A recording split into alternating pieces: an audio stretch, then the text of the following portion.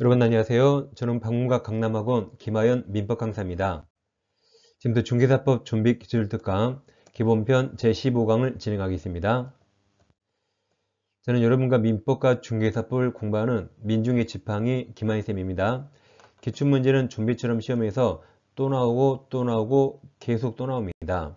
따라서 기출문제 계속 반복 반복 반복해서 보셔야 됩니다. 이 시간에 확인 설명 의무를 공부하겠습니다. 먼저 시기는 당연히 중개한성 정해야겠죠. 대상은 취득의뢰인 일방입니다. 이자에게 확인 설명해야겠죠. 그 다음에 의무는 성실 정확하게 설명하고 and 그리고 설명 근거 자료도 제시해야 됩니다. 세트를 외우세요. 설명하고 제시하고 설명하고 제시합니다. 다음 일정한 사항은 상태에 관한 자료를 요구할 수 있죠. 중개 대상물 자료 요구인데 당연히 권리 이전 내리는 계약이죠. 다음 요구사항은 전부가 아니고 이 파랑색 10여 칸, 10여 칸 세 가지입니다. 내외부 시설물 상태나 벽면 도배, 환경 조건 등 10여 칸 세 가지를 자료 요구할 수 있고 근데 이전 의뢰인이 불응하면 취득, 취득 의뢰인에게 설명하고 and 확인 설명서 기재합니다. 이때 세트를 외워요. 자료 요구했는데 불응하면 설명하고 기재하고 위쪽하고 세트를 해보세요. 여기 확인 설명할 때는 설명하고 제시하고 자료 요구 불응하면 설명하고 기재하고 세트로 같이 해보세요. 다음 확인 설명서가 있죠. 중개 연성되어서 거래계약서 작성할 때 확인 설명서 작성하죠. 이제 확인 설명서에 개공과 당해 중개한 소공이 서명 또는 들리고 서명 및 민날인 민날입니다.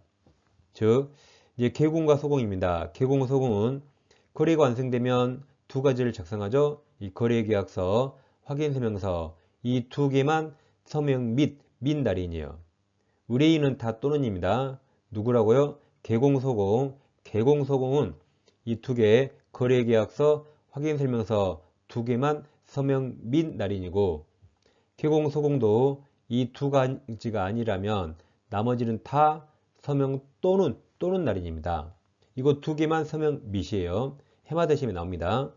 그래서 여기 편하죠. 거래계약서 다섯 글자, 확인설명서 다섯 글자, 서명 또는 그럼 여섯 글자라 안 되죠. 서명 민 날인 다섯 글자. 그래서 거래 완성하고 나서 작성한 서식 두 가지입니다. 두 가지. 거래계약서, 확인설명서, 서명 민 날인이에요. 그럼 전속 중개 계약서는 서명 또는 또는입니다. 두 개만 미시에요. 다음 보관 의무가 3년이죠. 보관 의무는 전속 중개계약서 3년, 확인설명서 3년, 거래계약서 5년, 제일 마지막 5가 있는데 자, 학생들이 전학 갈 때 갈 거 3, 3, 5로 몰려갑니다. 다시 학생들이 전학 갈 때 어떻게 가요? 3, 3, 5로 몰려간다. 이후 마지막 5가 우리 책 제일 끝에 매수 신청 대리가 다 5년이 두 번 나옵니다. 이것도 해마다 시험에 나옵니다. 잊어먹을 수 없죠? 학생들이 전학 갈 때 3, 3, 5로 간다. 퍼펙트합니다. 그리고 밑까지 꼭 같이 기억하세요. 다음 확인 설명서는 총 4가지의 서식이죠. 그럼 이제 주거용 건축물을 정확히 공부하시고 나머지는 주거용 건축물과 차이점 위주로 공부하시면 됩니다. 이제 중개대상물 확인설명서 1 주거용 건축물은 크게 3단계로 구성되어 있죠. 첫째, 개공 기본 확인사항, 두 번째, 개업 공정사 세부 확인사항, 마지막 중개보수 등으로 3등분 됩니다. 이제 개공이 기본 확인사항이 1번부터 8번 8개고 이건 개공이 직접 조 확인한 사항을 적습니다. 다음 제 주택 세부 확인 사항은 우리가 주택이죠? 주택을 세부를 확인하려면 겉에서 봐야 됩니까? 들어가 봐야 됩니까? 들어가 봐야겠죠. 들어가려고 현관문을 쫙 열었거든요. 근데 아주 멋있는 여기 멋있는 실내 벽화가 있습니다. 다시 세부를 확인하려고 들어가야겠죠. 현문, 현관문을 쫙 여는데 눈에 아주 멋있는 실내 벽화가 눈에 들어옵니다. 그럼 이 네 가지만 세부 확인사항이죠. 나머지는 뭔지 몰라도 다 기본 확인사항 이쪽으로 오면 됩니다. 다음 중개보수 등은 13번 딱 하나 있어요. 이렇게. 그럼 8개 개공 확인사항은 개공이 직접 확인하는 사항을 기재합니다. 개공이 확인해야겠죠? 돈 벌려면 이 정도는 해야지. 다음 세부 확인 사항은 물어보는 겁니다. 물어봐요. 그래서 실, 실제 권리관계 등은 매도 임대율이니 고지한 사항. 아까 10여 칸, 내외부 시설물 상태, 10여 칸은 매도 의뢰인에게 자료를 요구해서 기재합니다. 이거 이건 4개는 개공이 직접 게 아니죠. 다 매도 임대율이니 고지한 사항이나 또 자료를 요구해서 그자가 말한 걸 적습니다. 큰 세 가지 틀을 잘 기억하세요. 자, 그럼 이제 기본항의상 동그라미 3번에서 토지 이용 계획 등이 있는데 여기 제일 끝에 파랑스 박스 있죠? 이 건폐율 상환과 용적률 상환은 여기 밑에 시군 조례에 따라 적습니다. 이거 심이 아주 잘 나옵니다. 토지이용 계획 하면 틀려요. 이 건폐율 상환, 용적률 상환은 토지이용 계획 확인서가 아니라 시군조례, 시군조례 꼭 기억하셔야 됩니다. 그래서 이것도 자 건폐율 상한 다섯 글자죠. 용률 상한 다섯 글자, 시군 후 조례 다섯 글자 같이 기억하세요. 눈만 크게 뜨면 됩니다. 그 다음 입지 조건은 다섯 가지입니다. 이 파란색 도대 주교판 이래 오세요. 다시 입주권은 주거용은 도대 주교판 다 있다, 다 있다. 그 다음 5번이 관리 가능상이고 6번이 비선호시설 1kg죠. 다음 거래 예정 금액 8번이 취득시 부담할 조세 중류세로 있는데 여기 동그라미 7번 거래 예정 금액 있죠? 밑에 보시면 거래 예정 금액 등의 거래 예정 금액은 중개 완성된 때 하면 틀리죠. 중개 완성된 때가 아니고 중개 완성 후도 아니고 중개 완성되기 전, 전입니다. 전 거래 예정 금액을 기재하고 다음 개별 공시가 및 건물 공시가격도 중개 완성되기 전, 이 사항이 다 전이네요. 전입니다. 이상하게. 전, 공시된 공시가 또는 공시가격을 적습니다. 가로 열고 임대차 경우는 공시가 생략할 수 있다. 임대차는 공시가 안 중요하죠. 생략할 수 있어요. 이상하게 전 다 전입니다. 이상하죠? 자, 그래서 보세요. 이제 개공이 한 건을 내면 의뢰인에게 잘 확인 설명해야겠죠. 그래서 드디어 중개 완성했습니다. 그럼 이제 거래계약서와 확인 설명서를 작성하죠. 잘 보세요. 이때 확인 설명서 작성할 때는 여기 중개 완성 되기 전에 자기가 확인 설명했던 그 확인 설명했던 그것을 여기에 작성합니다. 최초에 확인 설명할 때 거짓말 쳤는가 사기 쳤는가 보려고 이때 했던 말을 중개 완성 후 확인 설명서에 이때 작성합니다. 그러니까 다 중개 완성 전, 전이잖아요. 전. 다 전이죠. 왜 전인지 알겠죠? 왜 전인가를 설명할 수 있는 선생님은 전국에 저밖에 없어요. 저는 중계를 해봤습니다. 다른 선생님들은 왜 전인지 모릅니다. 제가 어떻게 할까요? 다른 중개사법 선생님들이 항상 저한테 물어봐요. 제가 이제 제일 동생이니까 야 너왜 전인지 아냐? 물어봅니다. 여러 명이 물어봐요. 저는 그냥 모르겠는데요 하고 말했습니다. 제가 중개하면서 알게 된 노하우를 괜히 알려줄 필요 없잖아요. 그래서 왜 전인지 알겠죠? 여기도 중개성전, 중개성전 했던 말을 나중에 확인 설명서에 뻥인가 아닌가 적는 겁니다. 자, 8번도 여기 8번 취득시 부담할 조세 중림의 세율도 중개환성 전 자기가 했던 말을 적는 거예요. 뻥, 뻥 쳤는 거 아닌가? 지방세법 내용을 확인해 적습니다. 가로 임대차는 제, 적지, 않, 적지 않는다. 임대차가 취득세에 나오는 거 아니죠? 적지 않는다. 제외합니다. 그 다음에 이제 세부 확인상 오셔가지고 아까 실내벽화 4개였죠? 그럼 실제 권리관계와 공시되지 않은 권리관상은 매도 임대인이 고지한 사항 다음 내벽화는 시벽화는 매도 일인에게 자료를 요구해서 기재합니다. 그러니까 직접 조사한 게 아니라 물어봐서 적는 거죠. 먼저 9번 실제 권리관계 등이 있습니다. 밑에 오시면 실제 권리관계 또는 공시되지 않은 물건의 권리사항은 매도 임대율인 고지한 사항 가로 열고 얘들이 써 있습니다.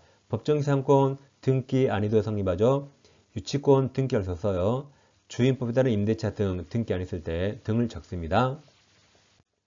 다음 10번 내외부 시설물 상태가 이 소방에서 단독 경보용 감지기계 등을 기억하셔야 돼요. 내외부 시설물 상태.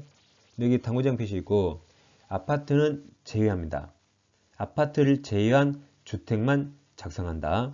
아파트는 왜 제외할까요? 이건 여러분 공법, 공포의 공법, 주택법에서 이건 의무사항이라 여기서 제외, 제외합니다. 나머지 주택만 적습니다. 11번 벽면 바닥 도배가 있죠? 바닥면이 최근에 신설됐다 알아두세요. 다음 환경요건은 일조 소음, 진동, 일소진 세 가지가 있습니다. 다음 이제 세 번째 중개보수 등 동그란 13번 중개보수 실비 딱 하나 있죠. 여기 13번도 중개보수 실비는 개공과 의뢰인이 협의하여 결정한 금액을 적대 중개보수는 뭐 거래 금액이 아니네요. 여기도 예정이죠. 예정. 다 전전전 예정. 왜 전 예정이라고요? 중개완성 전에 확인 설명할 때 했던 말을 뻥인가 아닌가 지금 적는 겁니다. 지금 거래 금액이 있지만 거래 금액이 아니에요. 거래 예정 금액입니다. 그리고 여기 당장 표시 중개보수는 부가가치세 제외, 제외합니다. 부가가치세 별도로 부과되고 중개보수에서 제외한다. 포함 그럼 틀립니다. 왜냐하면 개업공인사가 일반과세 사업자가 있거든요. 그럼 일반과세 사업자는 중개보수 플러스 그 10%를 부가세 더 받을 수 있어요. 중개보수가 100만원이면 10% 10만원을 부가세로 의뢰인에게 더 받을 수 있습니다. 그러니까 부가가치세에서 별도 부가 제외입니다. 제외. 그 예정도 기억하세요. 다음 확인 설명서에서 이제 주거용을 정확히 봤습니다. 그럼 비주거용 건축물과 주거용 건축물 비교하는데 자, 주거용이 있는데 여기 비주거용에 없는 걸 외우는 겁니다. 그럼 비주거용은 대표적으로 호프집 기억하세요. 여러분, 만약 여러분들이 상가 건물에 호프집 하려고 임차인으로 들어갑니다. 그럼 임대인이 임대인이 도배 교환해 줍니까? 안 해주죠. 아파트 주택 같은 경우는 임대인이 도배 교환해 줄 수 있죠. 근데 상가, 뭐 호프집을 임대인이 도배 교환해 줍니까? 안 해줘요. 그래서 도비 교환 없다. 도배 교환 안 해줍니다. 근데 도배 없어요. 비소론시도 없습니다. 입지 조건이 아까 도대주 교 판 중에 교판, 교판 욕구, 도대주만 있습니다. 환경 요건 일소진 아예 없다. 그래서 비주거용 건축물에는 도비교환 없다. 도배교환 안 해줍니다. 그래서 도비교환 없다. 여보세요? 다음 토지에 없는 거. 자, 토지에 벽면, 환경 조건, 내외부 시설물 상대 없겠죠? 입지 조건 도대 주교판 중에 도대만 있고 토지라 주차장 주교판이 없어요. 그리고 관리, 토지니까 관리실 필요 없습니다. 이것은 자, 토지에 벽화, 벽화 그리는 게 내 주관상이 아니다. 다시 토지에 벽화 그리는 것이 내 주관상 아니다. 그럼 토지에 벽화를 그리나요? 벽화는 벽에 그리지. 그러니까 토지에 벽화 그린 거 말도 안 되죠. 그래서 토지에 벽화 그린 건 내 주관상이 아니다. 라고 외우세요. 자, 이제 기출문제 75페이지 오세요. 문제를 풀어봐야겠죠? 자, 1번 개공이 2022년 중개 의뢰받아서 중개 대상물 확인 설명하는 경우 설명 틀린 겁니다. 1번 개공은 중개 완성되기 전 맞았고 확인 설명사항을 확인해서 이를 당해 중개 대상 물에 관한 권리를 취득 맞았죠? 취득하고든 의뢰인에게 설명합니다.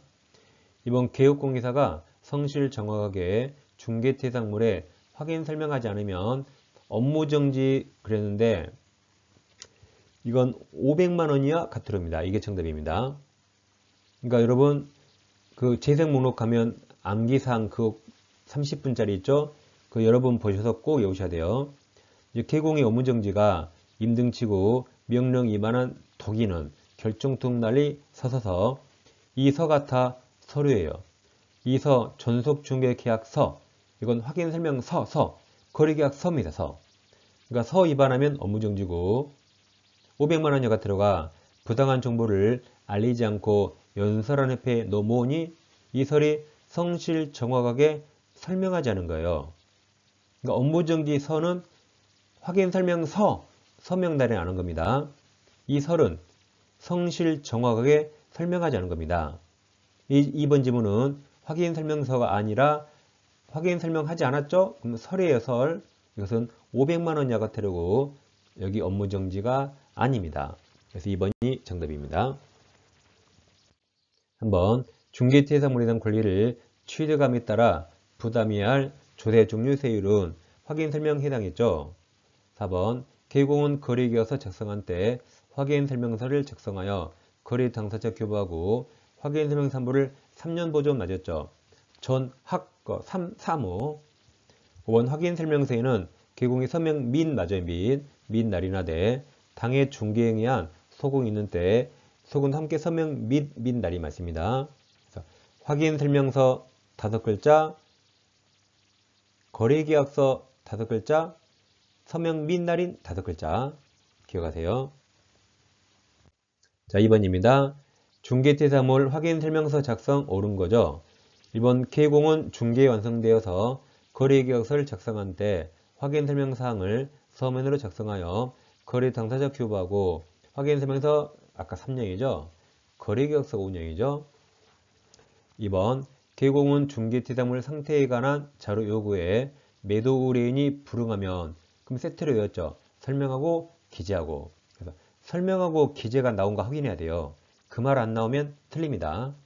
불응한 경우 그 사실 매수 의뢰인에게 설명하고 여기 기재에서 맞았네요. 맞았다. 그래서 2번이 정답입니다. 3번 중개대사물 확인 설명서에 개공이 서명 미인 날인하고 다음 소공도 서명 미인 날인이죠. 4번 공동중개의 경우 중개대상물 확인 설명서에 참여한 개공 중 1인이 아니라 전원이 서명 민 날인이 해야 되죠. 5번 중개환송 후 개공이 중개대상물 확인 설명서 서, 서를 작성하여 교부하지 않으면 개설 등록 취소 틀렸죠. 업무정지죠. 결정성 날리 서서서 확인 설명 서 위반하면 업무정지. 아까 확인 설명하지 않으면 500만원 과태료였죠.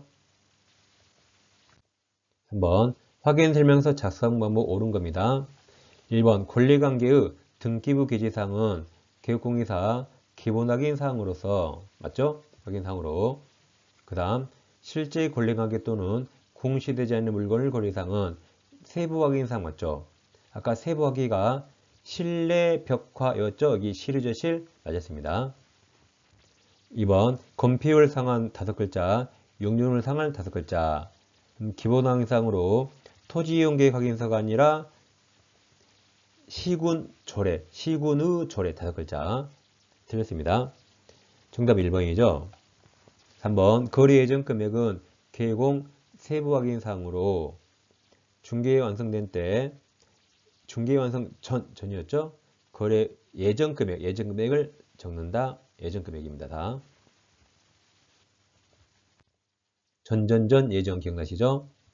4번 취득 시 부담할 조세 종료 세율은 중개대상물 유형별 모든 서식에 공통적 기재할상으로 임대차 기재한다 틀렸죠? 임대차는 취득세 필요 없으니까 제외한다 그랬죠? 5번 중개보수는 법령에 정한 요율 한도에서 의뢰인과 개공이 협의하에 결정하되 중개보수에는 부가가치세 제외, 제외죠? 별도 부과되죠? 제외입니다. 4번 비주거용 건축물 확인설명서 작성 시 개공의 세부 확인사항이 아닌 건데 일단 비주거용 건축물은 호프집은 도비교환 없다 있는데 이게 있으면 정답인데 없네요. 하나씩 따져봐야 돼요. 벽면, 승각이 주차장이 정답이죠. 이것은 입지 조건이죠. 입지 조건에 도대 주까지 있고 교판 없잖아요. 그래서 이건 입지 조건입니다. 그럼 입지 조건은 기본 항의사항이죠. 기본 항의사항. 일단 세부 확인사항이 주거용의 실내 벽화인데 입지 조건은 실내 벽화 없으니까 기본 확인에 들어갑니다. 정답은 3번입니다. 5번 토지 매매의 경우 확인 설명 서식에 기본 기본 확인사항에 해당하지 않는 거죠. 그럼 주택, 주택에도 기본 확인사항이 아니고 세부, 세부 확인사항이 실내 벽화죠. 여기 실내 벽화 있으면 정답이에요. 실내 벽화 있나요? 여기 실 있잖아요. 이게 정답이죠. 이것은 세부 확인상에 들어갑니다. 6번 비주거용 건축물의 확인 설명서 틀린 겁니다. 1번 대상물건 표시, 표시는 각종 대장을 보죠. 토지 대장과 건축물 대장을 확인합니다.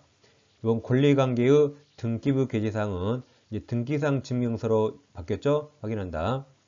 3번 건폐율 상은 다섯 글자, 용률 상을 다섯 글자, 시군절의 다섯 글자.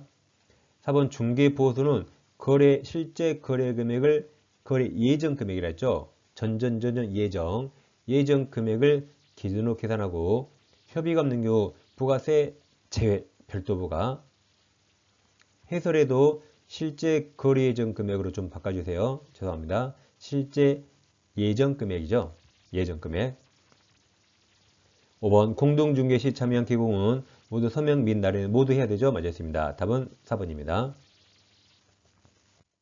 7번 기공이 주거용 건축물 확인 설명서 게재할 기본 확인 사항 중 입지 조건에 해당하지 않는 거 그럼 주택 입지 조건은 아까 도대 주교파 내었죠.